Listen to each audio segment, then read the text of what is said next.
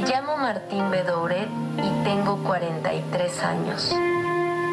Soy ingeniero en electrónica egresado de la Universidad Tecnológica Nacional.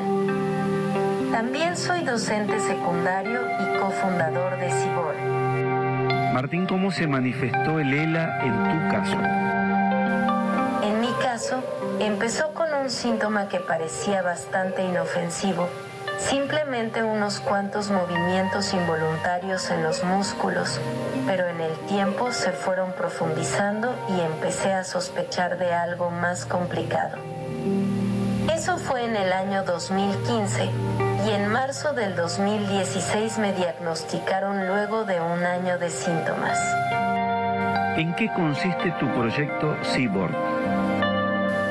Explicarlo en líneas generales, consiste en tableros con imágenes que van hablando a medida que el usuario las va seleccionando. La aplicación se llama Cyborg y es una aplicación web de comunicación aumentativa y alternativa para niños y adultos con discapacidades en el habla o problemas en el lenguaje. ¿Cyborg está disponible para todos?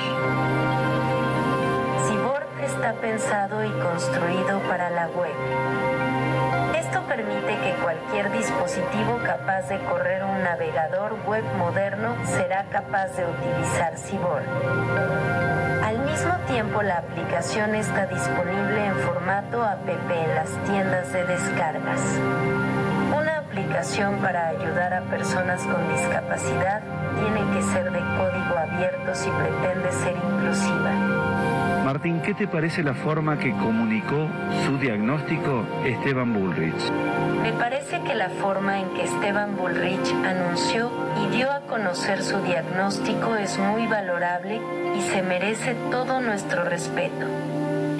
La salud no siempre es todo y muchas veces es importante seguir adelante con nuestros proyectos y acciones pese a la pérdida de la salud.